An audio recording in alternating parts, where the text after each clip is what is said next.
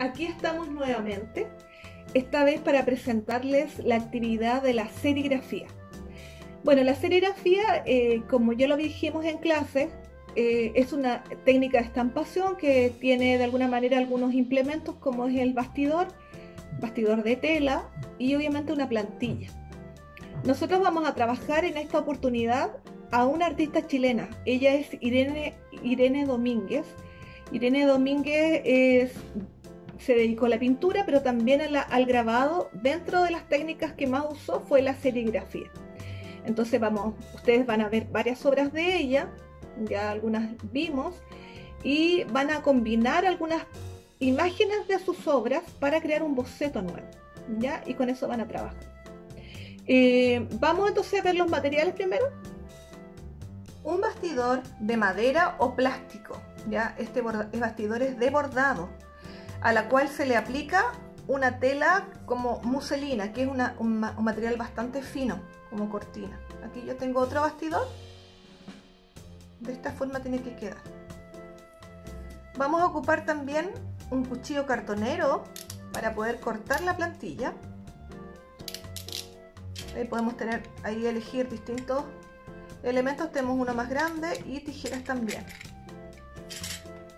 Bueno, hojas de bloc, tamaño liceo, ¿no es cierto?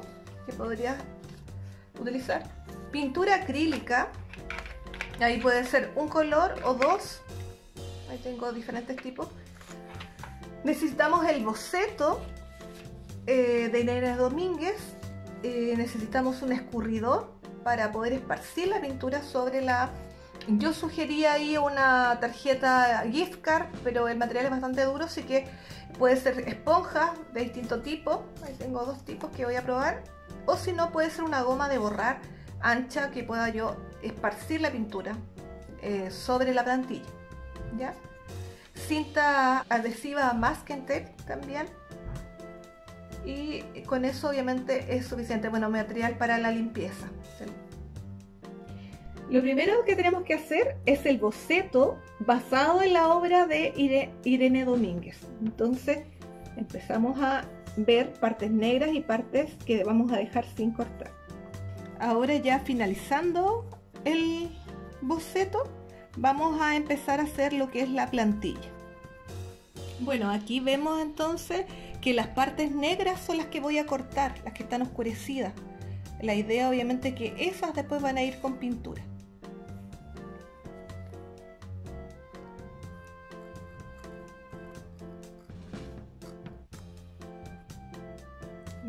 Así va quedando. Eh, se dan cuenta que es bien preciso.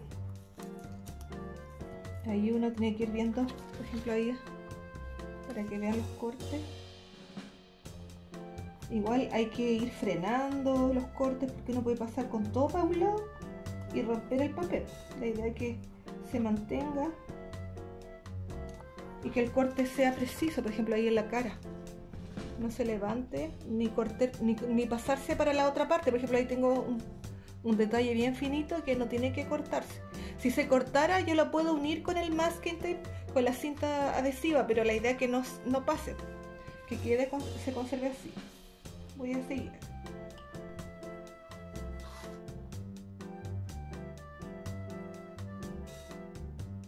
Una vez ya terminado, se ha recortado todo, tú ahora ya lo instalas en el bastidor. Entonces preparamos el bastidor, ponemos la tela bien tensada, ¿no es cierto?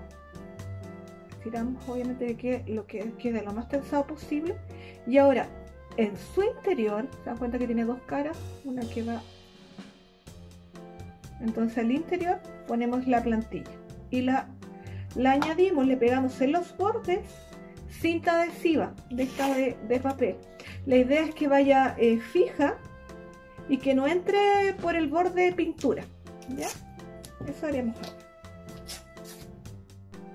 La idea, la idea es cortar trozos chiquititos de cinta para ir adosando a las esquinas, para que no entre pintura y ahora que no te quede levantado en el centro por ejemplo a mí me queda un poco levantado entonces voy a sacar un trocito pequeño y lo voy a doblar hacia el interior y voy a tratar de fijar esto en el, en el espacio obviamente que, cosa que quede adherido abajo. Ahí por ejemplo se me ve un poquito de la cinta, así que lo voy a esconder bien. Que no se note la cinta, ahí sí, quedó fijo. Ahí por ejemplo me quedó igual un poco levantado, cosa que la pintura no se meta hacia, hacia adentro de la plantilla. Esa es la idea. Esto, esto, es con una motricidad fina bastante desarrollada. Hay que tratar de, que eso en el fondo funcione. Todas las partes que podrían como levantarse. Eso tratar de que queden hacia abajo. Ya, una vez bien pegado y, en el fondo traté de que todo lo que en el fondo se levantaba, porque eran papelitos que, que las esquinas quedaban como levantados, especialmente en el centro, lo pegué a la tela. Entonces quedó bien pegadito y ahora recién voy a poner la pintura en el borde, ¿no es cierto? Para poder arrastrar hacia el otro lado. Y ahora con la esponja, ¿no es cierto? Voy a esparcir la pintura hacia abajo.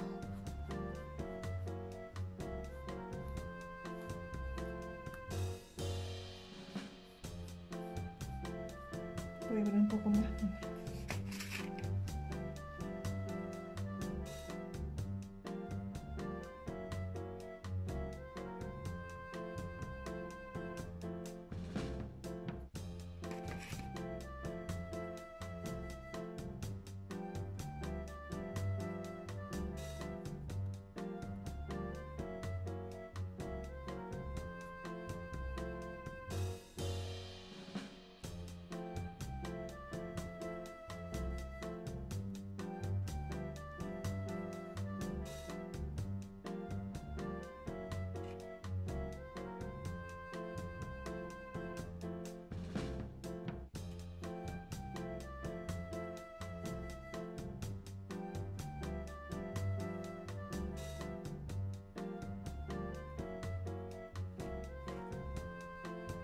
Una vez que tengamos listo entonces,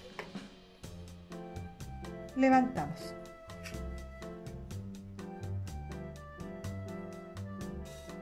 Ahí quedó la, primera imagen. Vamos a tener que hacer obviamente una segunda. Pero esta es la, como la textura que quedaría. ¿ya? Voy a probar obviamente ahora la otra esponja para poder ver si resulta con la otra. Aquí en algunos casos no, no esparce bien. Vamos a ocupar otra hoja. Y ahora entonces el resultado. ¿Qué quedaría así?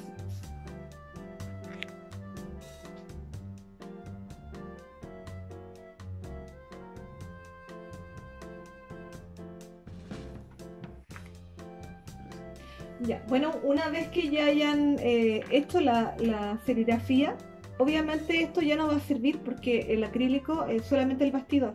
El, acrílico eh, se queda alojado en la tela, entonces ya esto, esta plantilla ya no sirve. Entonces ahí pueden intentar quizás volver a hacer otra plantilla y volver a hacerlo nuevamente. ¿ya? Eh, la idea es que sea algo más o menos eh, no tan complejo para que la imagen pueda resultar y espacios más o menos grandes porque las líneas pequeñas igual pueden después cortarse eh, por la humedad del material, de, la pintura. Ya chicos, espero que los haya, hayan comprendido la actividad y nos vemos en clase. Chao, chao.